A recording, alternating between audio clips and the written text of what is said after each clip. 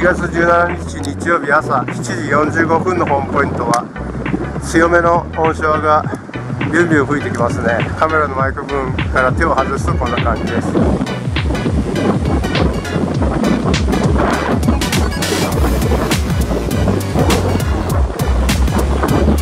ホームポイントの右の正面から強めの音章が吹いてきます。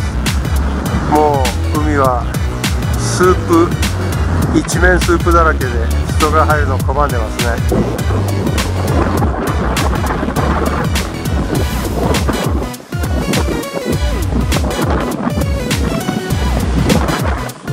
気温は7度ぐらいですね。